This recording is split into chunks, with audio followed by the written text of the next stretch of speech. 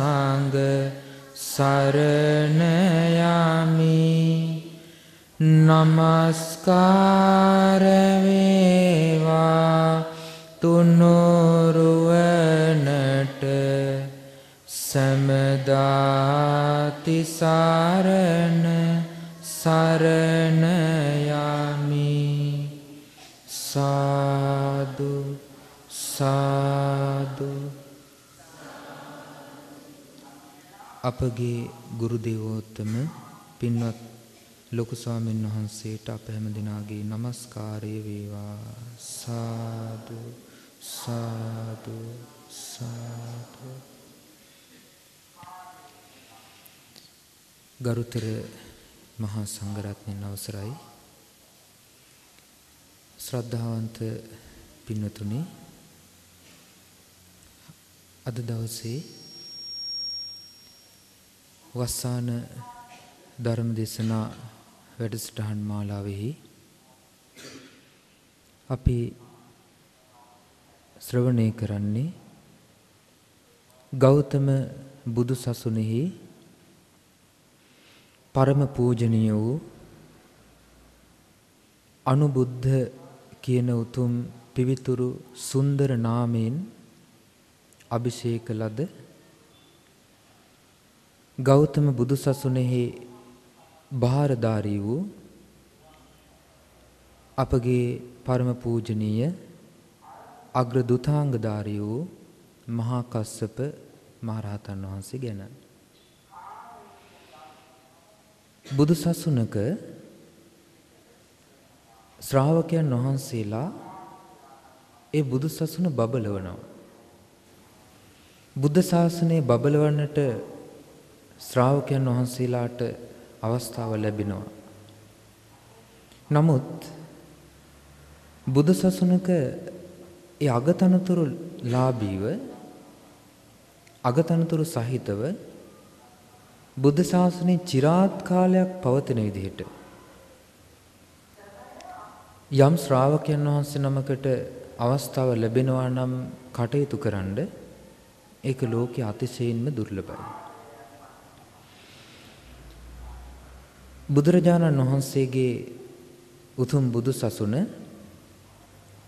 වසර 5000ක කාලයක් දෙව් මිනිස් ලෝකයාට සැපේ පිණිස යහපත පිණිස ආරක්ෂා කිරීම කියන කරුණ ඒ කරුණෙහි නියමුවා බවට පත් උනේ මහා කස්සප මහරහතන් වහන්සේ. අපි දන්නවා ඒ මහා කස්සප මහරහතන් වහන්සේගේ ජීවිතය හරිම පුදුම සහගත ආශ්චර්යවත් වූ පරම පිවිතුරු විරාගී ජීවිතයක්. සාමාන්‍ය මිනිසෙකුට සාමාන්‍ය කෙනෙකුට ඒ වගේ නිස්කාමී බවක් ඒ ආකාර වූ සංසිඳීමක් ඒ ආකාර වූ වගකීම් සහිත බවක් ඒ ආකාර වූ ඉවසීමේ ගුණයක් මේ සියලු ගුණයන්ගෙන් යුතු ස්වභාවයක් ගැන සිතින් කල්පනා කිරීම පවා දුෂ්කරයි. ඒ ගුණයන් උපදවා ගැනීම කියන කරුණ ගැන කවර කතාවද? එතකොට මිනිස්සෙකුට මිනිස්සෙක් වශයෙන් මේ මනුස්ස ලෝකේ උපන්නාට පස්සේ බුදුරජාණන් වහන්සේ නමකගේ ශාසනයක් තුල ඒ ආශ්චර්යවත් බව හඳුනා ගන්නට ලැබීම ඒ ආශ්චර්යවත් බව දැනගන්නට ලැබීමත් මහා පිනක්. ඒක පුණ්‍ය විපාකයක්. ඒ නිසා අද මේ ඔබ ලබන්නේ ඒ ශ්‍රාවකයන් පිළිබඳව දැනලා දැනගෙන ඉගෙනගෙන ඒ පුණ්‍ය විපාකයේ එක්තරා අවස්ථාවක්. එතකොට පින්නතුනි මේට බොහෝ කාලයකට කලින් ඒ කියන්නේ කල්ප ලක්ෂයකට කලින් එක්තරා අසිරිමත් සිදුවීමක් වුණා. ඒ ආශ්චර්යවත් සිදුවීම තමයි ඒ කාලේ ලෝකයේ බබළුවමින් ලෝකයේ හිරුමණ්ඩල හිරුමණ්ඩලවල් දහසක් පෑවුවා හා සමානව ලෝකේ ප්‍රඥාවෙන් බබළුවා වදාලේ පදුමුත්තර කියන ශාස්ත්‍රෝන් වහන්සේ. ඒ පදුමුත්තර සම්මා සම්බුදුරජාණන් වහන්සේගේ ශාසනය තුල උන්වහන්සේ එක්තරා අවස්ථාවක එක ස්වාමීන් වහන්සේ නමකට එක මහරහතන් වහන්සේ නමකට පදුමුත්තර බුද්ධ ශාසනයේ අගතනතුරු ලබා දුන්නා. ඒ අගතනතුර තමයි තෘතීය මහා ශ්‍රාවක කියන අග්‍රස්ථානය.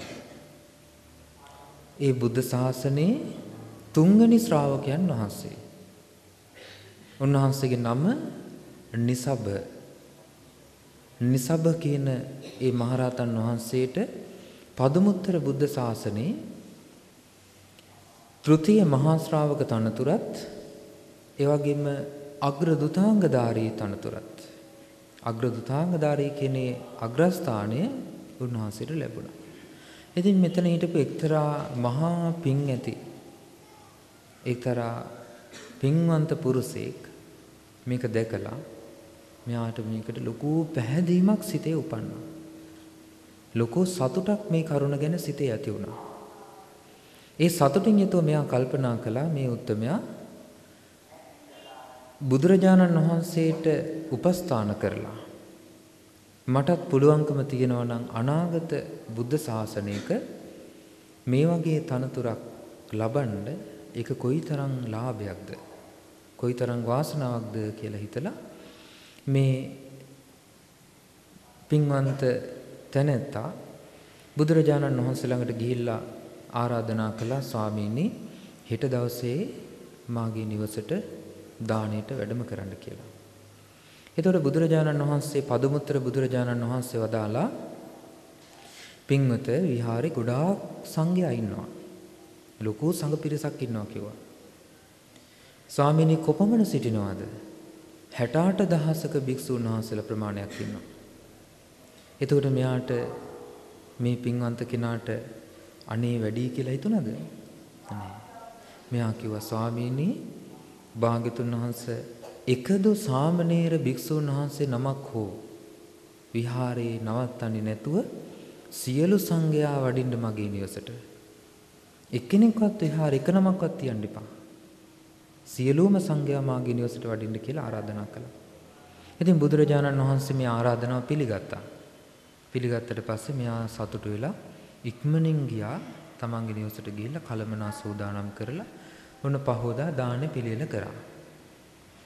ඉර පෑවට පස්සේ භික්ෂුන් වහන්සේලාට කැඳවාගෙන ඒව පිණිස මේ පින්වන්ත කෙනා මෙයාගේ නම තමයි විදේහ. මේ විදේහ කියන මේ පින්වන්ත පුරුෂයා විහාරයට නික්මුණා.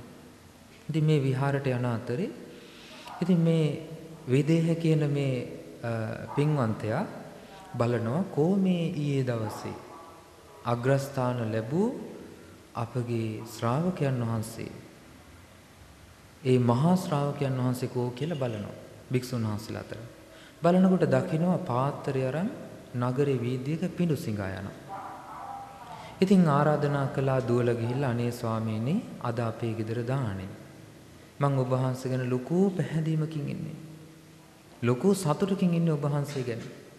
ඉතින් ඒ නිසා මගේ නිවසට වඩින්න. එතකොට මේ නිසබ රහතන් වහන්සේ වදාලා පින්වත නෑ. බුදුරජාණන් වහන්සේ ප්‍රධාන කොට සංඝයා වැඩම කරවන්නකෝ. දානෙට.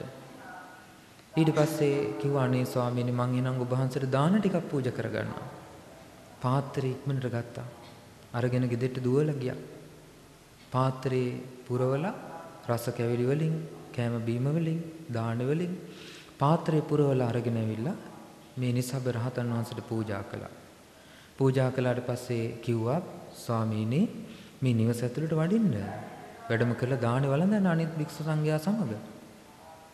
මේ නිසබ රහතන් වහන්සේ ප්‍රකාශ කරන නෑ. භාග්‍යතුන් වහන්සේ ප්‍රධාන කොට ඇති සංඝයා දන් වළඳාවේ කියලා පාත්‍රය අරගෙන නික්මිලා ගියා. ඊට පස්සේ පදුමුත්තර බුදුරජාණන් වහන්සේ ප්‍රධාන කොට ඇති 68000ක් භික්ෂුන් වහන්සේලාට දාන පූජා කරලා ඔක්කොම අවසන් වෙලා ඇහුවා ස්වාමීනි හරි පුදුමයි. නිසබ කියන උත්තමයන් වහන්සේ මේ නිවසට වැඩි නෑ. මට ඒ ගැන දුකක් දුම්නසක් තියෙනවා. එතකොට මේ පදුමුත්තර ශාස්ත්‍රුන් වහන්සේ වදාරනවා පින්වත ඒ ශ්‍රාවකයන් වහන්සේ අල්පේච්ඡයි. ඒ ශ්‍රාවකයන් වහන්සේ කැමති පාත්‍රයට ලැබෙන දෙයක් පමණක් වළඳලා පිඬුසිඟා ගිහිල්ලා ජීවත් වෙන්නයි. ඒ නිසා උන්වහන්සේ මහා ගුණයන්ගෙන් යුක්තයි කියලා ප්‍රශංසා කළා. ඉතින් ඒ වෙලාවේදී ආරාධනා කළා පහවදක් දානෙට. මේ විදිහට දවස් 7ක්ම දානෙ දුන්නා. දානෙ දීලා ඊට පස්සේ කිව්වා ස්වාමීනි අනාගත බුදු සසුනක මටත් මේ වගේ තනතුරක් ලැබෙයිද? එතකොට බුදුරජාණන් වහන්සේ බැලුව අනාගතේ. බලනකොට දැක්කා කල්ප ලක්ෂයකට පස්සේ කල්ප ලක්ෂයකට පස්සේ මේක ඉෂ්ට වෙන්නේ. ප්‍රකාශ කළා වදාලා කල්ප ලක්ෂයකින් පස්සේ ඔබට ඒ අගතනතුර ලැබෙනවා. ඉතින් මෙයාට පුදුමාකාර සතුටක්. මෙයා ඒ ජීවිත කාලය පුරාවට දන් දෙමින් පින් රැස් කරමින් කාලය ගත කරලා කලුරිය කළා. කලුරිය කරලා මෙයා දෙව්ලොව මනුස්ස ලෝකෙ ඉපදුනා. ඉතින් මේ විදිහට කල්ප ගණනාවක් ගෙවිලා ගියා. මේිට කල්ප 91කට කලින් කල්ප 91කට කලින් ඒ කියන්නේ කල්ප ලක්ෂයක් ගෙවිලා ගියා. ඉතුරුනේ කල්ප 91යි. කල්පයක් කෙනෙක්ව බහලා තිනවනේ. එතකොට එච්චර දීර්ඝ කාල සීමාවක් තුළ මෙයා සුගතියේ සැප විඳිමින් ඒ තමන්ගේ ජීවිත ගත කරමින් අර පුණ්‍ය විපාකයන් ලබමින් කාලය ගත කරා. ඊට පස්සේ කල්ප 91කට කලින් ලෝකේ පහළ වුණ විපස්සී සම්බුදුරජාණන් වහන්සේගේ කාලේ මෙයා ඉපදුනා දුප්පත් පවුලක. මෙයාගේ බිරිඳ කලින් ජීවිතේ බිරිඳමයි. ඒ ජීවිත කාලේ මේ සසර පුරාවට මෙයාට ලැබෙන එකම බිරිඳ කෙනෙක්. ඒ පැතුම ඇති වුණෙත් ඒ නිසබ රහතන් වහන්සේට අගතනතුරු ලබා දුන්න අවස්ථාවෙමයි. ඒ ජීවිතයේ බිරිඳ පැතුමක් ඇති කරගත්තා සසරේ ගමන් කරන තුරු මේ පින්වන්ත කෙනා සමග මාත් එකට යනවා. මේ විදිහට බලන්නේ සිතේ පුණ්‍ය විපාකයන් මුල් කරගෙන සිතේ පිහිටුවාගත්තු අරමුණ. ඉතින් මේ බුද්ධ ශාසනත් ලැබුණා. එතකොට පදුමුත්තර බුදුරජාණන් වහන්සේගේ ශාසනයෙන් පස්සේ ඉතින් ඊට පසුව ලෝකෙ පහළ වුණ අනිත් ශාස්ත්‍රුන් වහන්සේලා මුණ ගැහින්න ඇති. ඒ මුණ ගැහිලා ධර්ම ශ්‍රවණය කරන්නත් ඇති. නමුත් මේ අවස්ථාවවලදී මේ උත්මයාට ධර්මය අවබෝධ කරගන්න අවස්ථාව ලැබුණේ නැහැ. ඉතින් විපස්සී බුදුරජාණන් වහන්සේගේ කාලේ මෙයා දුප්පත් පවුලක ඉපදුනා. ඒ කලින් පැතුමේ විදිහටම ඒ බිරින්දෑම ලැබුණා. ඉතින් මේ විදිහට හැබැයි මේ දුන්නට තියෙන්නේ එක සලුවයි. ඒ නිසා මේ දෙන්න ප්‍රසිද්ධ වුණා ඒක සාටක කියන නම. ඉතින් මේ දෙන්නගෙන් දෙන්න බොහොම ශ්‍රද්ධාවන්තයි. මේ ස්වාමි පුරුෂයයි භාර්යාවයි නිතර බණ අහන්න යනවා. බොහොම ධර්ම ගරුකයි. ඉතින් මෙහෙම කාලය ගත වෙලා යනකොට එක අවස්ථාවක මේ පින්වන්ත පුරුෂයා රාත්‍රී කාලේ බණ අහන්න යනවා. දවල් කාලේ බණ අහන්න යනවා බිරින්දේ. ඒතර මේ විදිහට මාරුවේ මාරුවට තමයි මේ දෙන්න බණ අහන්න යන්නේ. ඒක සලුවනේ තියෙන්නේ මේක පොරවගෙන යනවා. ඉතින් මේ රාත්‍රියේ බණ අහගෙන ඉන්නකොට රාත්‍රී අලුයම් කාල වෙනකොට මෙයාට හිතුණා මේ සලුව පූජා කරන්න ඕනේ බුදුරජාණන් වහන්සේට. ඉතින් මෙයා කල්පනා කළා නෑ එකයිනේ තියෙන්නේ. මේ විදිහට දැන් ඔන්න හිතින් යුද්ධයක් කරනවා. මොකද්ද? මේ සලුව අතහරින්න. ඊට පස්සේ මේ රාත්‍රියේ පස්චිම යාම වෙනකොට කොහොම හරි බලවත් සිතවිල්ලකින් මේ සලුව අරගෙන නමල බුදුරජාණන් වහන්සේට පූජා කළා. එතන හිටියා බන්දුමති රාජධානී අග රජතුන්. කවුද? බන්දුම රජුරෝ. බන්දුම රජතුමා හිටියා. විපස්සී බුදුරජාණන් වහන්සේගේ බෝසතාණන් වහන්සේගේ පියාණන්. ඉතින් මේ බන්දුම රජතුමා මේ ගෝසාවක් කරා මේ මේ තැනැත්තා. මොකද්ද ගෝසාව මන් දිනුවා මන් දිනුවා කියලා වටපිට බලනකොට බන්දුම රජතුමා කලබලව බලනකොට මෙයා මොකද්ද මේ කියන්නේ කියලා අර්ථය හොයනකොට දැනගන්න හම්බුණා මේ සලුව පූජා කරපු එකයි. ඊට පස්සේ බන්දුම රජතුමා සලු ගෙනල්ලා මෙයාට දුන්නා. ඒ දින දින සලුව විපස්සී බුදුරජාණන් වහන්සේට පූජා කරනවා. ඊට පස්සේ මේක පූජා කරන්න කරන්න ආය ආයිමත් ගෙනල්ලා මෙයාට මේ රජුරෝ සලු දෙනවා. සලු පරිත්‍යාග කරනවා. ඊට පස්සේ මේ විදිහට දැන් මේක කරගෙන යනකොට මෙයා කල්පනා කළා නෑ මං එක සලුවක් මටයි බිරිඳටයි තියාගෙන සලු දෙකක් ඉතුරු ටිකක් පූජා කරනවා කියලා ඔන්න පූජා කළා.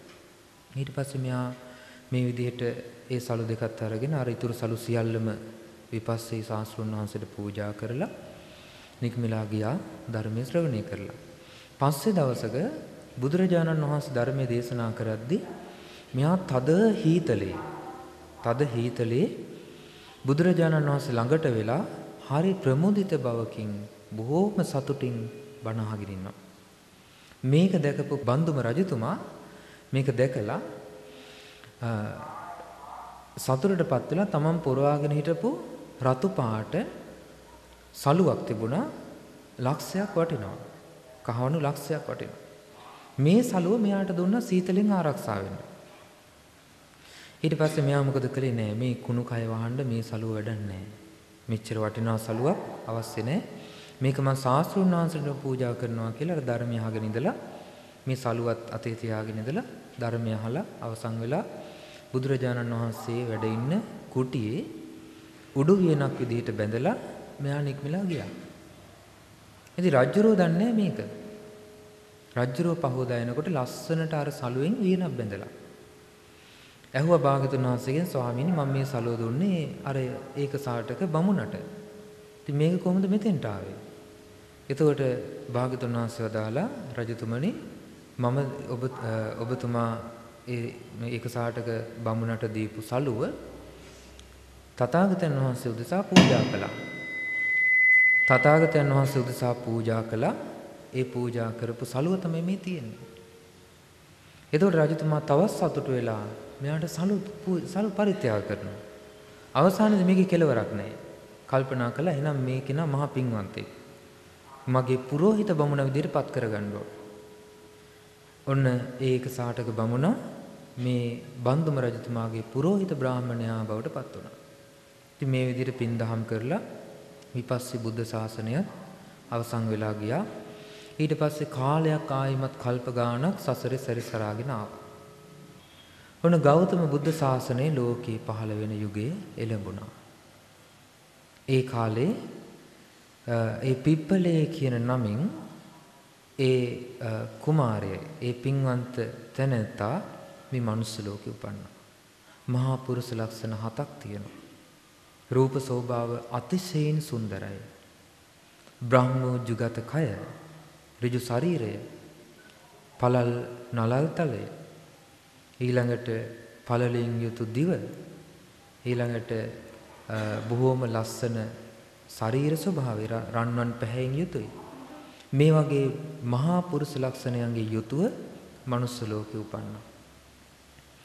ඒ මනුස්ස ලෝකේ උපන්නේ උත්තමයන් වහන්සේ මේ රූපේට, ශබ්දේට මේවට කිසිම ආසාවක් නැහැ. ඇයි බොහෝ කාලයක් බඹලව ඉඳලා තමයි මේ මනුස්ස ලෝකයට ආවේ. ඒ නිසා ඇහෙන් දකින රූපය ගැන කිසිම තැකීමක් නැහැ. ඒවට ආසා කරන්නේ කනෙන් අහන ශබ්දයට ආසාවක් නැහැ. ඒවට කිසි බැඳීමක් නැහැ. ඒව හොයාගෙන යන්නේ නැහැ. ඒ නිස්කාමී මනසින් කාලය ගත කරා.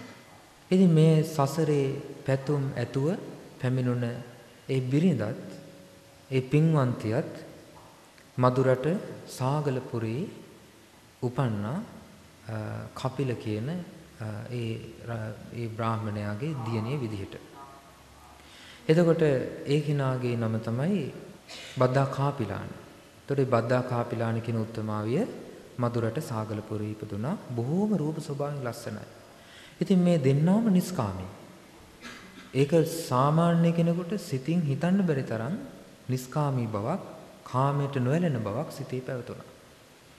ඉතින් මේ දෙන්නම තරුණ වියටපත් වුණා. දෙමව්පියන් කල්පනා කළා මේ දෙන්න විවාහ කරලා දෙන්න ඕන කියලා. එතකොට පිප්පලී කුමාරයාට බිරිඳ විදිහට කැඳාගෙන එන කෙනෙක් හොයනවා. ඉතින් මේකෙන් බේරෙන්න බැරි තැන රත්තරන් වලින් හැදුවා රූපයක්. ඉතින් කිව්වා මේක මේ වගේ කෙනෙක් නැහැ කියලා හිතාගෙන තමයි හැදුවේ. නමුත් ඉතින් සසරේ ප්‍රාර්ථනා විනාශ කරන්න බෑනේ. නේද? ඒතකොට සසරේ බැඳීම් ඒ දේවල් ඒ විදිහටම පැවතුණා. ඉතින් කොහොම හරි මේ බද්දා කාපිලානි ලැබුණා මේ පිප්පලි කුමාරයාට විවාහ වෙන්න අවස්ථාව ලැබුණා. ඉතින් අවස්ථාව ලැබුණට පස්සේ මේ දෙන්නා නිස්කාමී ජීවිතයක් විවාහ ජීවිතය තුලත් ගත කරේ. ලෝකේ සාමාන්‍ය ලෝකයේ තුල රාගෙන් මත් වෙලා රාගෙන් යුතුව ලෝකෙ දිහා බලද්දී මේ පිප්පලී කුමාරයයි බද්දා කාපිලානේ රාගෙන් තොරව සහෝදර බැඳීමෙන් එකිනෙකා දිහා බලනවා. රාගින් මත් වෙලා ලෝකේ එකිනෙකාගේ හඬ අහද්දී මේ බද්දා කාපිලානේ පිප්පලී කුමාරයයි රාගින් තොරව ධර්මය ගැන කතා කරනවා ජීවිත යථාර්ථය ගැන කතා කරනවා ඊට පස්සේ රාගින් මත් වෙලා ලෝකය එක එක දේවල් සොයාගෙන යද්දී මේ බද්දා කාපිලානේ කුමරියයි මේ පිප්පලී කුමාරයයි නිස්කාමී දේවල් ගැන කාමෙන් තොර දේවල් ගැන කතා කරනවා. බලන්න කොච්චර වෙනසක්ද කියලා. සාමාන්‍ය ලෝකයේ තුල සාමාන්‍ය ලෝකයා කෙරෙහි නොපවතින අසාමාන්‍ය වූ ලක්ෂණ. එතකොට පින්නතුනි මේ විදිහට කාලයක් ගෙවිලා ගියා. දැන් ඔන්න දවසක් මේ පිප්පලි කුමාරයාට දැන් කටයුතු පැවරිලානේ. තමන්ගේ ගෙවල් දොරවල් බලන්න ඕනේ, වතු පිටි බලන්න ඕනේ. ඉතින් මේ පිප්පලි කුමාරයා දවසක් යනවා අස්සයා පිටේ මේ තමන්ගේ කෙත් වතු බලන්න. යනකොට දැක්කා කපුටෝ අලුත හාපු පසේ කපුටෝ එකතු වෙලා පණුව අහුලනවා. මේක දැකලා මෙයා බලාගෙන හිටියා මේක දිහා. බලාගෙන ඉඳලා කල්පනා කරා මේ මොකද්ද කියලා ඇහුවා. කිව්වා මේ තමයි මේ සත්තු මරාගෙන කනවා මේ අනිත් සතුන් විසින්. මේක ගැන කලකිරුණා. එදාම බද්දා කාපිලාහනේ අවුව දාලා තිබුණ තල වේලින්ද. ඒ තලවල හිටපු අර පණු කැදලි වල හිටපු පණු එළියට එනවා අවුව සැරට. එතෙන්ට ඇවිල්ලා පුංචි කුරුල්ලෝ අර තලවල හිටපු පණු කැදලි වලින් එළියට එන පණු අහුලගෙන කනවා. මේක දකිනවා බද්දා කාපිලාහනේ. එයත් කල්පනා කරනවා බද්දාකාපිලානෙත් කල්පනා කරනවා මේ මොකද්ද මේ? මේ ජීවිතයේ මේ සත්ව එකිනෙකා දඩයම් කරගෙන මේ ජීවත් වෙන පැවැත්ම මොකද්ද කියලා මේ ඒ වෙලාවේ ඒ උත්තමාවිටත් හිතෙනවා. ඊට පස්සේ මේ විදිහට දැන් දෙන්නම ගෙදර ආවට පස්සේ මේ ගැන කතා කරා. දෙන්නම දැකලා තියෙන එකම ස්වභාවයේ දෙයක්. ඊට පස්සේ තමන්ගේ සේවකයෝ ගෙන්නුවා ඥාතින් ගෙන්නුවා සියලු දේවල් පැවරුවා දෙන්නම ඉරිසි ප්‍රයෝජ්‍යාවෙන් පැවිදි වෙලා ගෙදරින් නික්මුණා. ගෙදරින් නික්මිලා දැන් බද්දා කාපිලානේ හිස මුඩු කරලා පිප්පලී කුමාරයා හිස මුඩු කරලා බොහොම සිනිඳු සලු දෙකක් පොරවාගෙන මහමග නික්මිලා යනවා මේ දෙන්නම එකට. ඒතර කොයි වගේ රූප ස්වභාවයක් ඇද්ද? ඒතර පිප්පලී කුමාරයාගේ නුවණට වැටහුණා මේ බද්දා කාපිලානේ මගේ පස්සෙන් ආවොත් මේ විදිහට මේක ශ්‍රමණේකට ගැලපෙන දෙයක් නෙමෙයි. ඒ නිසා මේ බද්දා කාපිලානේ බැහැර කළ යුතුයි කියලා හිතලා කතා කරලා කිව්වා නැගණිය අපි මේ එකට මේ විදිහට යන එක සුදුසු නෑ. මේක ගැලපෙන්නේ නෑ. එතකොට ඒ නැගණිය කියලා කතා කරේ ඇයි? ඔබ අහලා තියෙන මල් මාලාවක් තැබුවා යහන මැද කාම සිතිවිල්ලක් රාග සිතිවිල්ලක් ඉපදුන්නේ ගිහි ජීවිතය ගත කරන තුරු. ඉතින් සහෝදරියක් වගේ මේ වර්තමාන ලෝකේ මිනිස්සු තමන්ගේ සහෝදර සහෝදරියන් පවා නොහඳුනන ලෝකේ මෙපමණ රූප රූප ස්වභාවයෙන් අග්‍ර වූ දෙන්නේ සහෝදර බැඳීමෙන් යුතුව විවාහ ජීවිතයට පත්වෙච්ච දෙන්නේ ඒ මැදින් මල් මාලයක් තියලා රාග සිටිවිලි මාත්‍රයක්වත් උපදවන්නේ නැතුව එක ඇඳක දෙපැත්තේ නිදා ගන්නවා කියන එක ඒක ආශ්චර්යයක්. ඒක පුදුම සහගත දෙයක්. එතකොට අපි සාමාන්‍ය ලෝකයේ තුල ඒ වගේ දෙයකට අපි සිත පහදවා ගන්න ඕනේ. සමහර කෙනෙකුට ඒ තුලත් පවතින අකුසල් සිතිවිලි උපදිනවා. නේද? එතකොට ඒ විදිහට ලෝකයේ ස්වභාවය ඒකයි. ඒ වගේ උතුම් ජීවිත ගත කරපු දේවල් අපි ශ්‍රවණය කරද්දී අපි ඒ ගැන සිත පහදවා ගන්න ඕනේ. එතකොට අපි එතකොට ඒකින් ලැබෙන උපකාරයේ ධර්ම මාර්ගයේ දියුණුවට අපිට හිතා ගන්න බැරි තරම් උපකාරයක් ඒ සිටිවිල්ල තුල ලැබෙනවා. ඒ නිසා පින්නතුනේ දැන් ඊට පස්සේ මේ බද්දා කාපිලානේ ඉරිසි ප්‍රවිජ්ජාවෙන් පැවිදි වෙලා ඊට පස්සේ මේ පිප්පලි කුමාරයාත් පැවිදිලා දැන් මේ විදිහට යනකොට ඔන්න දෙන්නට හම්බ වුණා දෙමන් හන්දියක්. සසරේ කල්ප ලක්ෂයක් පුරා එකට ආවා. දැන් වෙන් වෙන්න තව මොහොතයි තියෙන්නේ. කතා කරලා කිව්වා නැගණිය අපි එකට මාර්ගය යන එක සුදුසු නෑ. මිනිස්සු එක එක කතා කියන්න පුළුවන්. ඒ නිසා ඔබ මේ මාර්ගේ යන්න. මම මේ පැත්තේ යන්නම්. ඒ වෙනකොට භික්ෂුණී සංඝයා ලෝකේ නෑ. ඉතින් මේ දෙන්න වෙන් වෙනකොට මහ පොළොව සැලිලා ගියා. මහ පොළොව කම්පා වුණා.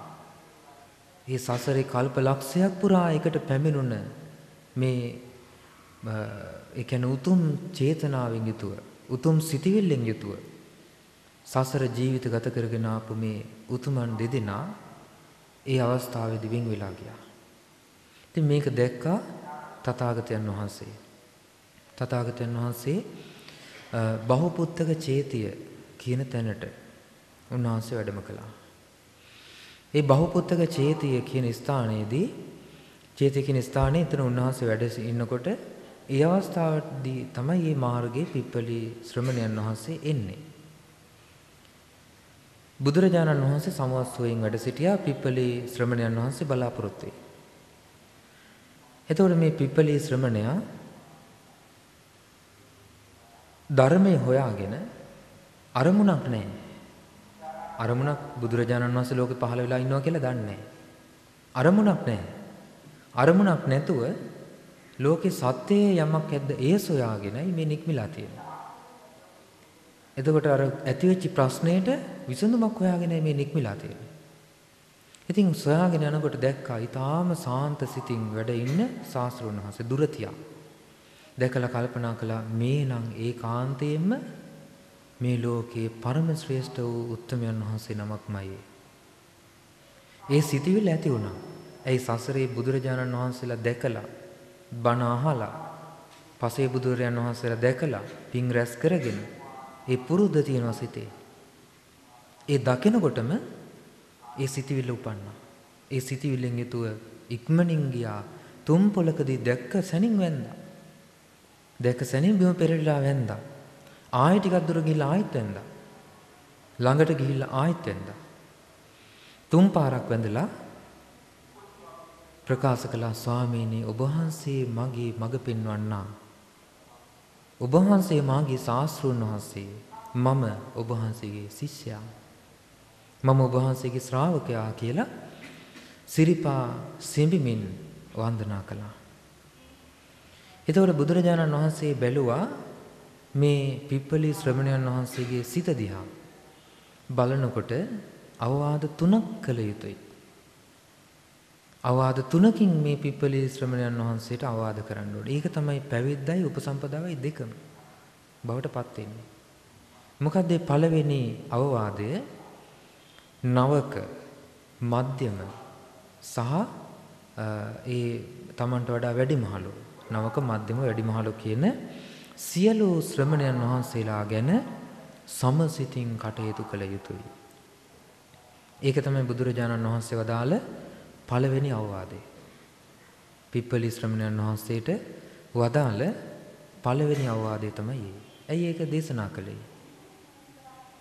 ඒ කාරණාව වදාළේ මේ මහේසාගේ කුලයක ඉපදුනේ හැමදාම හැමෝගෙම ගරු සත්කාර ලැබපු කෙනෙක්. ඒ නිසා සිතේ මාන්නය තියෙනවා. ඒ මාන්නේ දුරු කිරීම පිණිස තථාගතයන් වහන්සේ පළවෙනි අවවාදය කළා. ඒ තමයි නවක මධ්‍යම වැඩිහිටි කියන ඒ සියලු සංඝයා කෙරෙහි සමසිතින් කටයුතු කරන්න ගෞරවයෙන් කටයුතු කරන්න කියලා. ඊට පස්සේ දෙවෙනි අවවාදය කරනවා ගෝත්‍රයෙන් කාශ්‍යප නිසා කස්සප කියලා තමයි අමතන්නේ. කස්සප ඔබ දිවි ඇති තාක් යම් ධර්මයක් ශ්‍රවණය කරනවා නම් ශාස්ත්‍රෝ ශාසනය තුල ඒ ශ්‍රවණය කරන්නා වූ ධර්මය මනාකොට ශ්‍රවණය කරන්න. අර්ථය මෙනෙහි කරමින් ධර්මය මෙනෙහි කරමින් මනාකොට ඒ ධර්මය ශ්‍රවණය කළ යුතුයි. ඇයි අවවාදය කරන්න හේතුව මොකද්ද? බ්‍රාහ්මණ පවුලක ඉපදුනේ. වේදින් පරප්‍රාප්තයි. සියලු ශාස්ත්‍රයන්ගෙන් කෙලපෙමිනිලා. සියලු ශාස්ත්‍රයන් සියලු ධර්මයන් කියන්නේ බාහිර ලෝකයේ තිබිච්ච ඒ කාලේ තිබිච්ච සියලු ඉගැන්වීම් ඔක්කොම ඉගෙනගෙන හොඳ දැනුමක් තියෙනවා. ඒ දැනුම තියෙන නිසා ඒ දැනුමෙන් මත් නොවීම පිණිස ශාස්ත්‍ර ඥාණයෙන් මත් නොවීම පිණිස දෙවෙනි අවවාදය කළා. ඒ තමයි යම් ධර්මයක් ශ්‍රවණය කරනවා නම් අට්ඨීකත්වා මනසිකත්වා සබ්බචේතසෝ සමන්නාහරිත්වා ධම්මං සුනාය. හොඳට අර්ථය සිහි කරලා ධර්මයේ සිහි කරලා හොඳට මානසිකාරය කරමින් ඒක අහන්න. එතකොටයි මේ ධර්මය අවබෝධ කරගන්න අවස්ථාව ලැබෙන්නේ. ඊට පස්සේ තුන්වෙනි අවවාදය කරනවා. තුන්වෙනි අවවාදය තමයි ජීවිත කාලය පුරාවටම මේ කය පිළිබඳ කායානුපස්සනා සතිපට්ඨානෙන් වාසය කරන්න. ඇයි අවවාදය කරන්න හේතුව? කායනුපස්සනාව තුළ තිබෙන්නේ මේ කයේ යථාර්ථය. කයේ යථා ස්වභාවය. ඉතින් මේ කය යථා ස්වභාවය මෙනෙහි කරන්න කියලා අවවාද කළේ කාශ්‍යපයන් වහන්සේ තුල තිබුණ මහා පුරුෂ ලක්ෂණ හතක්. ඒ මහා පුරුෂ ලක්ෂණ ලේසියෙන් කෙනෙකුට පිළිටන දේවල් නෙමෙයි. ඒ නිසා ඒ මහා පුරුෂ ලස්සන වලින් යුතු ශරීර ස්වභාව ගැන මත් නොවීම පිණිස රූප මදයෙන් මත් නොවීම පිණිස කායानुපස්සනාව දේශනා කළා. කායानुපස්සනාව සතිපට්ඨානෙ වඩන්න කියලා අවවාද කළා. ජීවිත කාලය පුරාවටම කායानुපස්සනාව වඩන්න කියලා. බලන්න එතකොට ඒ අවවාදයෙන් අවවාද ලැබූ කාශ්‍යපයන් වහන්සේ උන්වහන්සේ ඔන්න ටික දුරක් දැන් භාගතුන් වහන්සේගේ අවවාදය පිළිඅරන් බොහොම ගෞරවයෙන් භාගතුන් වහන්සේ සමග නික්මුණා. නික්මිලා ටිකක් දුර යනකොට භාගතුන් වහන්සේ එක්තරා රුක් සෙවණකට වඩින සූදානම්. උන්වහන්සේ වඩින සූදානම් වෙද්දී මේ කාශ්‍යපයන් වහන්සේ උන්වහන්සේට වැඩ සිටීම පිණිස තමන් පුරවාගෙන හිටපු අර බොහොම සිනිඳු පටපිලියෙන් කරපු සලුව චීවරය අරගෙන නමලා භාගතුන් වහන්සේට ආසනයක් විදිහට පැනෙව්වා. ඒ පනවපු ආසනයේ භාගතුන් වහන්සේ වැඩ හිටියා. වැඩ සිටමින් භාගතුන් වහන්සේ ඒ පට සලුව පට සිවුර පිරිමැද්දා. පිරිමැදලා කියනවා කාශ්‍යපය මේක හරිය සිනිඳුයිනේ. ඒතර කාශ්‍යප කාශ්‍යපයන් වහන්සේට හිතෙනවා භාගතුන් වහන්සේට මේක පූජා කරන්න ඕනේ කියලා. ඒතර කියනවා අනේ ස්වාමීනි මා කෙරෙහි අනුකම්පාවෙන් මාගේ මේ පටපිලි සිවුර පිළිගන්නාසේක්වා. ඒතර බුදුරජාණන් වහන්සේ අහනවා කාශ්‍යපය මේ එතකොට ඔබට සිවුරක්. එතකොට භාගතුන් වහන්සේ ওই පොරවාගෙන සිටින සිවුර භාගතුන් වහන්සේගේ ප්‍රියමනාප බව අනුව ලැබෙනවා නම් මම ඒක පිළිගන්න සූදානම්. එතකොට භාගතුන් වහන්සේ දේශනා කරනවා කාශ්‍යපේ මේ සිවුර හරි ගොරෝසුයිනේ. මේක බොහොම බරයි. මේක ගොරෝසුයි. මේක සැහැල්ලු නෑ. ඔබට ඔය සැහැල්ලු වස්ත්‍ර ඇඳලා සැහැල්ලු සිවුර පොරවලා පුරුදු ඔය ශරීරයට මේක මහා බරක් දැනේ. එතකොට කාශ්‍යපයන් වහන්සේ කියනවා ස්වාමීනි භාග්‍යතුන් වහන්සේ ලස්සන මල් මාලයකට ලස්සන මල් ගොතන්න කැමති කෙනෙක් ලස්සන මල් හම්බ වුණාම ඒ මල් සතුටින් නෙලාගන්නේ යම්සේද තථාගතයන් වහන්සේගේ ওই පාංශු කුල චීවරය මම පිළිගන්න සූදානම්. භාගතුන් වහන්සේ ඔය පොරවන දරාගෙන සිටින පාංශු කුල චීවරය මං හිස්මුදුනින් පිළිගන්න සූදානම්. බුදුරජාණන් වහන්සේ වැඩ සිටි තැනින් නැගිටලා පාංශු කුල චීවරය අර උන්වහන්සේගේ ශරීරයෙන් මෑත් කරලා ඒ සිවුර කාශ්‍යපයන් වහන්සේගේ දෝතට දෙනවා. කාශ්‍යපයන් වහන්සේ ඒ සිවුර බොහෝම ගෞරවයෙන් පිළිගන්නවා. පිළි අරගෙන තමන් වහන්සේ පුරවාගෙන සිටපු ඒ පටපිළින් කරපු සිනිඳු චීවරය හොඳට නමලා භාගතුන් වහන්සේ ඉදිරියේ දන නමාගෙන බුදුරජාණන් වහන්සේට චීවරය පූජා කරනවා. ඒ පූජා කරනකොට මහ පොළොව කම්පා වෙනවා. මහ පොළොව සැලී යනවා. සිද්ධාර්ථ බෝසතාණන් වහන්සේ තමන් වහන්සේ විසින්ම සොයාගත් ඒ පාංශුකූල වස්ත්‍ර වලින් සකස් කරගත්තු ඒ දරාගෙන සිටපු භාගතුන් වහන්සේ බුද්ධත්වයට පත්වෙන මොහොතේ භාගතුන් වහන්සේගේ ශරීරයේ ආලෝක ධාරාවන්ගෙන් බුද්ධ රශ්මින් තේජමාන බවට පත් වූ ඒ බුද්ධ චීවරය මහා කස්සප මහරහතන් වහන්සේ පොරවා ගන්න මොහොතේ මහ පොළොව කම්පා වුණා. මහ පොළොව සැලී ගියා. ඊට පස්සේ උන්වහන්සේ ඒ චීවරය දරාගෙන බොහොම ගෞරවයෙන් බුදුරජාණන් වහන්සේ සමග වැඩම කළා. උන්වහන්සේ කාලයක් ධර්මයේ පුරුදු කරලා ධර්මය අවබෝධ කරගත්තා. අරහත්ත්වයට පත් වුණා. අරහත්ත්වයට පත් වෙලා උන්වහන්සේ බුදුරජාණන් වහන්සේත් සමග එකට චාරිකාවේ වඩිනකොට ඉතින් නොයෙකුත් සිදුවීම් ඒ කාලය තුල සිදු වෙනවා. දැන් මේ කාලය කෙමෙන් කෙමෙන් ගෙවි යනකොට එක එක සිද්ධි වෙනවා. ඉතින් එක දවසක් මේ වයසක අම්මා කෙනෙක් ඇස් පේන්නේ නැති හරියට ඇස් පේන්නේ නැති බොහෝම දි รา පත් වෙච්ච එක අම්මා කෙනෙක් හිටියා. මේ අම්මා කාශ්‍යපයන් වහන්සේ ගැන බොහොම ලෙන්ගතුයි. ඒ ලෙන්ගතු නිසා මේ අම්මා මොකද කරන්නේ නිතරම දානේ පූජා කරනවා. ඉතින් දවසක් මේ කාශ්‍යපයන් වහන්සේ භාගතුන් වහන්සේ පෙරටු කරගෙන පිණ්ඩපාත වඩිනවා. ඉතින් එක ළඟින් නෙමෙයි යන්නේ. ඉතින් මේ අම්මා දැක්කා රූපෙන් සමානයි. රූපෙන් එක සමානයි බොහෝ දුරට සමානයි. ඉතින් මේ මේ බුදුරජාණන් වහන්සේ ඉස්සෙල්ලා වඩිනවා හිතුවා මේ අම්මා අනේ මේ මගේ ශාක්‍ය පුත්‍ර වූ මේ කාශ්‍යපයන් වහන්සේනේ වඩින්නේ. බොහොම ලෙන්ගතුව කාශ්‍යප මහ රහතන් වහන්සේ ගැන සිහි කරලා දානේ පූජා කළා මුණ දිහා බැලුවේ නැහැ. ඒ බලන්නේ නැතුව දානේ පූජා කළා. දානේ පූජා කළා වන්දනා කළා පැත්තකට වෙලා ඉන්නවා. ටිකකින් කාශ්‍යපයන් වහන්සේ වඩිනවා. වඩිනකොට මේ අම්මා බැලුවා දැන් මේ ඉස්සෙල්ලත් වැඩියන්නේ දැනුත් වඩිනවා. පස්සේ ඔන්න හොඳට මූණ දිහා බලනකොට දැක්කා මේ කාශ්‍යපයන් වහන්සේනේ. දුවගෙන ගියා. බැරි බැරි ගාතේ දුවගෙන ගියා. ඉතින් දුවගෙන ගිහිල්ලා භාගතුන් වහන්සේගේ පාත්‍රයට දෝතම දැම්මා. දාලා පාත්‍රයෙන් දාන එක ගත්තා. අරගෙන දුවගෙන ඇවිල්ලා කාශ්‍යප මහ රහතන් වහන්සේට පූජා කළා. ඉතින් මේක දැකපු කාශ්‍යප මහ රහතන් වහන්සේ කල්පනා කළා මාගේ ශාස්ත්‍රුන් වහන්සේට පූජා කරපු දාණය මං නිසා භාගතුන් වහන්සේගේ පාත්‍රය මේ අම්මා ගත්තා. මේ වගේ නැවත නොවේවා කියන සිතුවිල්ල උපන්නා. බලන්න කොච්චර අනුකම්පාවක්ද කියලා. එවලේ එදා පිණ්ඩපාත දානේ වළඳලා භාගතුන් වහන්සේ ළඟට ගිහිල්ලා වන්දනා කරලා කිව්වා ස්වාමීනි මම වනාන්තරයට වඩිනවා. තථාගතයන් වහන්සේ ජීවමානව සිටින තුරු මම නැවත තථාගතයන් වහන්සේ සමග එක මගක වඩින්නේ. ඊට පස්සේ මෙහෙම ප්‍රකාශ කරා භාගතුන් වහන්සේගේ අවසරය ලැබුණා වැඩම කළා. ඉතින් උන්වහන්සේම වැඩම කරලා බොහෝම සංසිඳීමෙන් යුතුව අප්‍රමාණ වූ සමාපත්තීන්ට සමවදිමින් වනාන්තරයේම කාලය ගත කළා. උන්වහන්සේ දවස් 7කට පස්සේ තමයි නිරෝධ සමාපත්තියෙන් නැගී සිටින්නේ. එහෙම නැගිටලා දාණය පිණිස දුප්පත් ගෙවල් වලට වඩිනවා. ඇයි පොහොසත් අයට ඉතින් යමක්කමක් තියෙනවනේ. ඉතින් උන්වහන්සේ බලන්නේ අසරණ කෙනෙකුට දුප්පතුන්ගේ මුනිවරයා කියන විරුදාවලිය උන්වහන්සේට ලැබුණේ නිසා.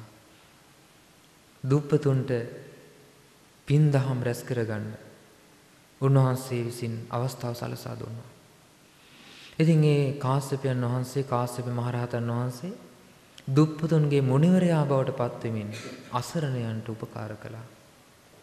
එතකොට ওই වගේ දුප්පත් මිනිස්සුන්ට දැන් ලාදුරු රෝගියෙක් හිටියේ. ඉතින් මේ කෙනා කෑම ටිකක් හම්බ වෙන්න ඉතින් බොහොම කලාතුරකින් අද වගේ කෑම සුලභ නෑ ඒ කාලේ. කෑම ආහාර පාන සුලභ නෑ. ඉතින් මිනිස්සුන්ට කෑම බොහොම දුර්ලභයි. ඒ විශාල ජනකායක් ආහාර පාන දුර්ලභයි. ඉතින් දවසක් මේ ලාදුරු රෝගියට පිරුණු වෙච්චි ආහාර ටිකක් හම්බෙලා මෙන්න ආහාර ටික අනුභව කරමින් ඉන්නවා. ඒක පිළිගන්නක වාඩි වෙලා. ඒ වෙලාවේ කාශ්‍යපයන් වහන්සේ වැඩියා මේ ඉස්සරහට. දැන් මෙයා අනුභව කරනවා මේක අතින් අරගෙන මේ අනාගෙන ලාදුරු රෝගියෙක් කියන්නේ අත ඔක්කොම ඇඟිලි කුණු වෙලා ඇඟෙන් සැරව වැක්කිරෙනවා. ඒක නවත්තන්න බෑ. ඒ රෝගය ඒ වගේ ස්වභාවයෙන් යුක්තයි. ඉතින් මේ ඇඟිලි පුරුක් කුණු වෙලා ගැලවෙනවා. නාහය ගැලවෙනවා, කන් ගැලවෙනවා. මෙවෙන් සැරව වැක්කිරෙනවා. ඇඟ පුරාම බිබිලි හැදිලා සැරව වැක්කිරෙනවා. ඉතින් මෙයා මේ බොහොම මේ පිරුණු වෙච්ච ආහාරය අනුභව කරනවා. බොහොම අමාරුයි. අනුභව කරමින් ඉන්නකොට කාශ්‍යපයන් වහන්සේ ඉස්සරහා. ඉතින් මේ අනපු ආහාරේ අනපු නැති බොහොම පොඩ්ඩක් ඉතුරු වෙලා තිබුණා. බොහොම බත් පිඬවල් එකක් දෙකක් විතර. ඊට පස්සේ බැලුවා කාශ්‍යපයන් වහන්සේ දිහා. කාශ්‍යපයන් වහන්සේත් මෙයාගේ මූණ දිහා බැලුවා. බලනකොට තේරුණා මේ දාන ටික පිළිගන්න මේ උත්තමයන් වහන්සේ සූදානම්. ඉතින් අර ඉඳුල් වෙච්ච ටික පොඩ්ඩක් අයින් කරලා අනපු නැති ටික අර පතෙන්ම ගෙනහිල්ලා පාත්‍රයට පූජා කරනකොට තල්ලු කරනකොට පාත්‍රයට හැන්දක් නැහැනේ. අතින් ඒක තල්ලු කරනකොට මෙන්න ඇඟිල්ලක් ගලවලා වැටුණා. අර කුණු වෙච්ච ඇඟිලි පුරුකක්. කාශ්‍යපයන් වහන්සේත් මේක දැක්කා. දැකලා දැන් මෙයාට පුදුමාකාර සංවේගයක් ඇති වුණා. අනේ මට මේක දැන් පාත්‍රයක් දාලා ගන්නත් බෑ. මේක මං දැක්කෙත් නෑ. ඊට පස්සේ මේක හිම් අරගෙන කාශ්‍යප මහ රහතන් වහන්සේ අර අඟු පිළේම වාඩි වුණා. වාඩි වෙලා අර ඇඟිල්ල Tamanගේ ඇඟිලි දෙකින් අල්ලලා ගත්තා. පිළිකුල් සිතක් නැහැ. සතුටු සිතින් අර නිස්කාමී සිතින් විරාගී සිතින් අර ඇඟිලි ඇඟිලි වලින් අල්ලලා මේ ඇඟිල්ල අරගෙන පාත්‍රයෙන් එළියෙන් තිබ්බා. එළියෙන් තියලා දාන ටික වළඳනවා. මේ තැනත්තට පුදුම සහගතයි. මෙයාට හිතා ගන්න බෑ. මේ මොකද්ද වුනේ කියලා. එතකොට ඒකන හිත හිතා මෙයාට පස්සේ අසනීපේ වැඩි වෙලා මෙයා මරණයටපත් වුණා. නමුත් මතක් වෙලා තිබුණේම අර උත්තමයන් වහන්සේ දාන ටික වළඳපු එක. ඒ වළඳන දිහා බලාගෙන හිටපු වෙලාවේ ඒ සිතවිල්ල කොච්චර ප්‍රබල පින් සිතවිල්ලද කොච්චර සතුටක්ද ඒ සිතවිල්ලෙන් මරණයටපත් වුණා. මෙයා දිව්‍ය ලෝකෙ උපන්නා. පස්සේ කාලෙක කාසිම් මහරහතන් වහන්සේ මුණ ගැහිලා ධර්මයාල අවබෝධ කරගන්නවා.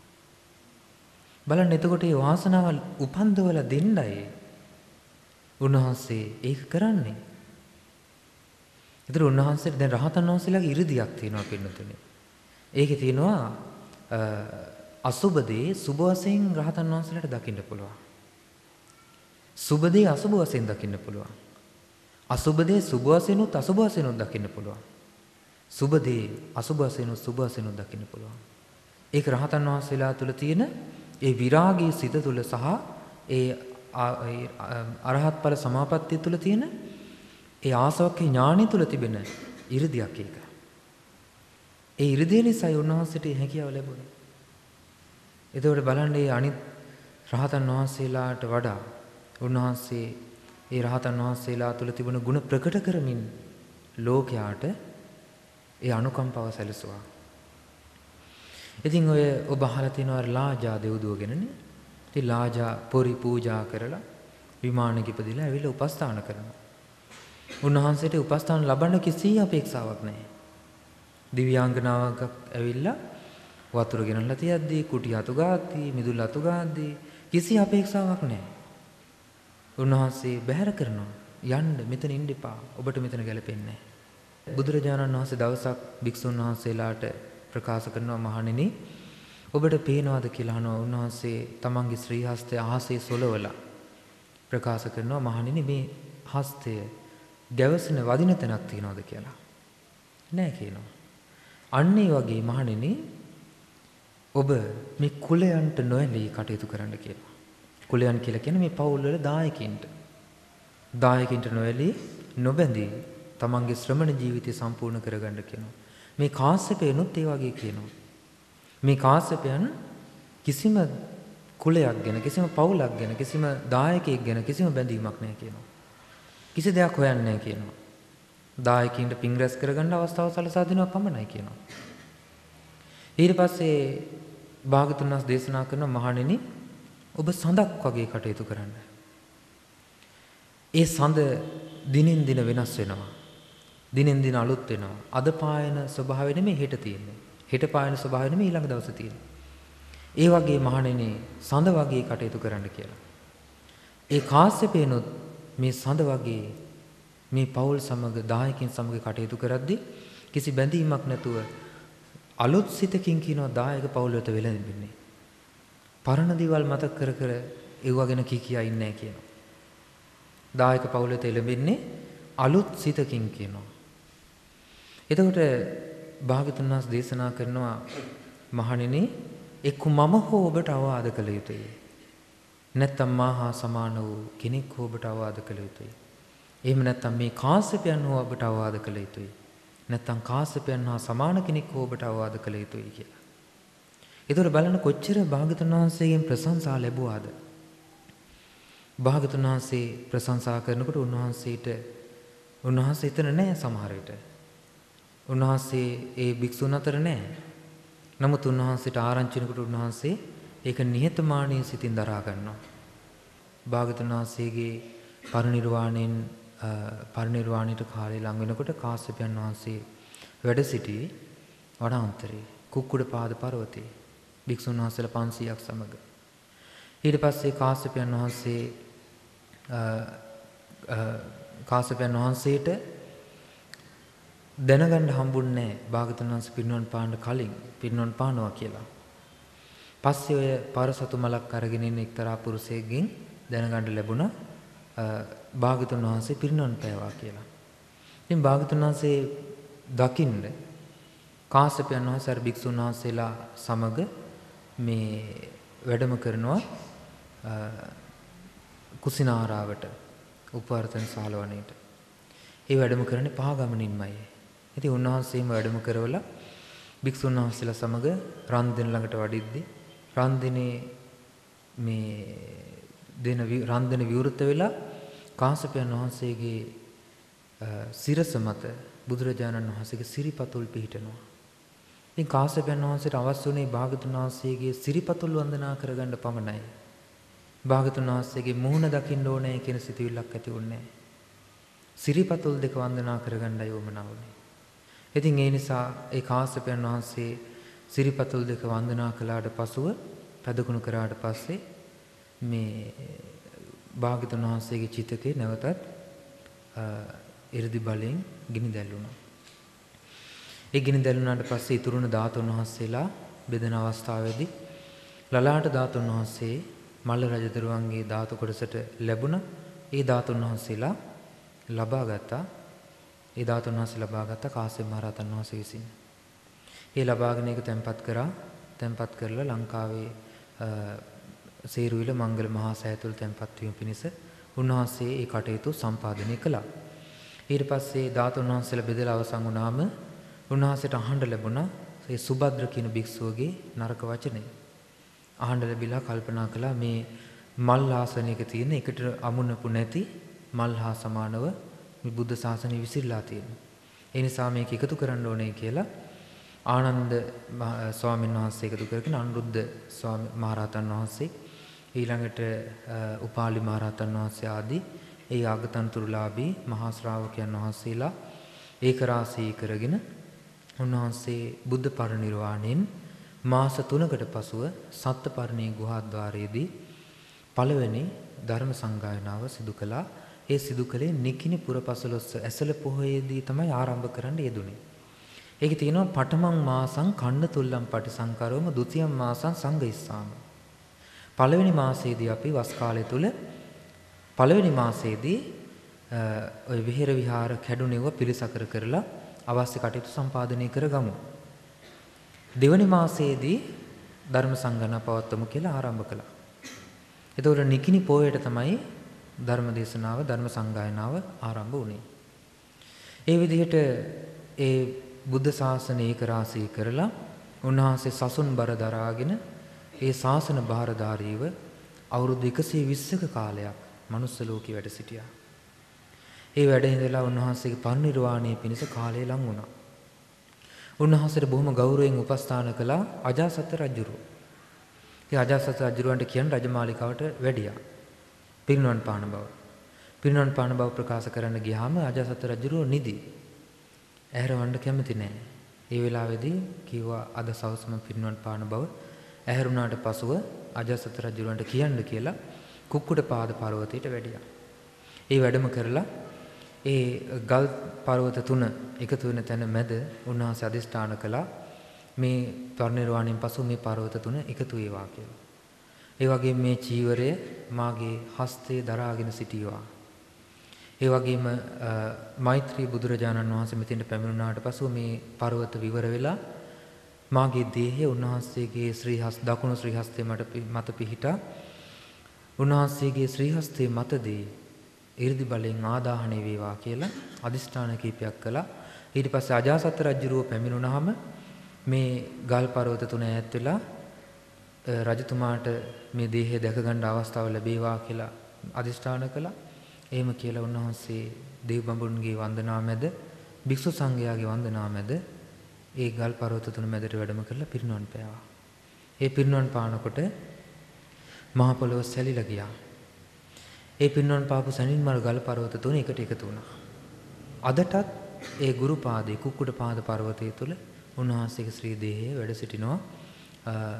මෛත්‍රී බුදුරජාණන් වහන්සේ ලෝකෙ පහළ වෙන තුරු. ඊට පස්සේ උන්වහන්සේගේ ශ්‍රී මුව මඩලින් ගිලිහුණ දලදා වහන්සේ නමක් බෙන්තර ගලපාත රජමා විහාරේ අදටත් මිනිසුන්ට දෙවියන්ට බඹුන්ට වන්දනාමාන කරගන්නට අවස්ථාව සලසාලමින් වැඩ සිටිනවා. ඒ වගේම උන්වහන්සේගේ දා බිඳුවක් සීවක නමින් යුතු සෙන්පතිතුමා දා බිඳුවක් රන් කරඬුවකට රැගෙන ඒ රන් කරඬුවේ දා බිඳු ධාතුන් වහන්සේ තැන්පත් කරලා වන්දනාමාන කරමින් පින් රැස් කරගන්නවා. ඉතින් මේ වගේ ලෝකයට පරම සාන්තිය සලසාලු ලොවට මහානීය වූ අග්‍ර වූ ගුණයන්ගෙන් යුතුව උන්වහන්සේ දූත ගුණ ධාරිව වැඩ සිටියා. උන්වහන්සේ අමුසොහනේ හිටියා. පිණ්ඩපාතේ පමණයි වැළඳුවේ. උන්වහන්සේ පාත්‍රයේ පමණයි දන් වැළඳුවේ. තුන් සිවුර පමණයි දරා සිටියේ. මේ වගේ නික්ලේශී සිතින් අල්පේච්ඡ සිතින් උන්වහන්සේ වැඩ සිටියා. ඒ නිසා මම මේ කාලය තුලදී අපිට කාශ්‍යප මහරහතන් වහන්සේ ගැන කතා කරනවා නම් සතියක් මදි. මාසෙකුත් මදි. බොහෝ කාලයක් යන උන්වහන්සේගේ ගුණ ගැන කියන්න. උන්වහන්සේගේ ස්වභාවය ගැන කියන්න. ඉතින් මේ බොහොම සංක්ෂිප්තව අපිට ලැබෙන කාල සීමාව අනුව මේ දහම් කරුණු මේ දේවල් අපිට දැනගන්න කාලය උදා වුණේ. පින්නතුනේ කාශ්‍යප මහ රහතන් වහන්සේ දැක්කා අනාගත ලෝකයේ බුද්ධ ශාසනය පවතින ආකාරය. ඒ නිසා උන්වහන්සේ ඒ පැවතීම පිණිස අපි ගැනත් උන්වහන්සේ දකින්න ඇති. මේ අහිංසක සිතින් ධර්මයේ ශ්‍රවණය කරමින් ඒ ධර්මයේ පුරුදු කරන්න මහන්සි ගන්න අනාගත ශ්‍රාවකින් ගැන කාශ්‍යපයන් වහන්සේ දකින්න ඇති. ඒ පිණිසයි උන්වහන්සේ බුද්ධ ශාසනය ආරක්ෂා කළේ. බුද්ධ ශාසනයට රැකවරණ සැලසුවේ. උන්වහන්සේ අර කුඩාණු කුඩා ශික්ෂාපද පිළිබඳ ගැටලුවේදී නොයෙකුත් රහතන් වහන්සේලා එක එක අදහස් ඉදිරිපත් කරද්දී කාශ්‍යපයන් වහන්සේ ප්‍රකාශ කළා යමක් භාග්‍යතුන් වහන්සේ පැනෙව්වාද පණවපු දේ වෙනස් නොකොට පිළිපැදීමත් නොපවණපු දේ නොපැනවීමත් අප විසින් කළ යුතුයි කියලා. ඒ නීතිය ඒ ඒ කරුණ උන්වහන්සේ ඉස්මතු කරලා ලෝකේ බුද්ධ ශාසනය පවතින চিරාත් කාලයක් පවතින අවශ්‍ය කරුණු සම්පාදනය කළා. ඒ නිසා අපි මේ කාලය තුල ඒ පරම පවිත්‍ර වූ චිත්තසංතානයක් දරා වැඩ සිටි ලෝකේ බුද්ධ ශාසනයක් තුල අප්‍රමාණ වූ ගුණ දරා වැඩ සිටින්නට හැකියාව ඇති.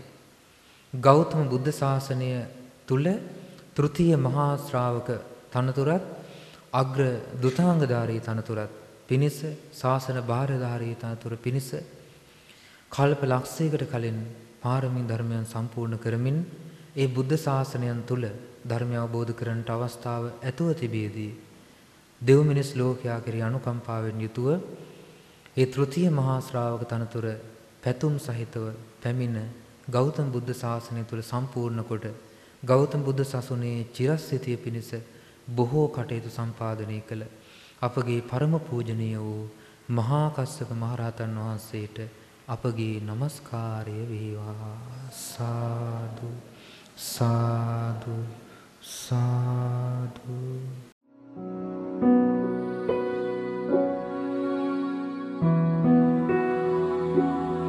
වස්සාන ධර්මදේශනා